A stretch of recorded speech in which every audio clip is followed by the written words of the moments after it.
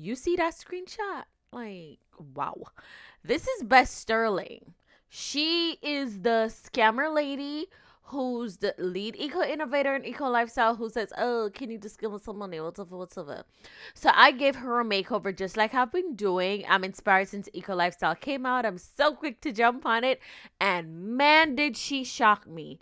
She shocked the crap out of me. So again, I changed nothing about her. I just gave her XMiramira skin tones because they're better for chocolate sims more than EA. So, yes, go ahead, enjoy the music, and please leave your comments down below and tell me what you think.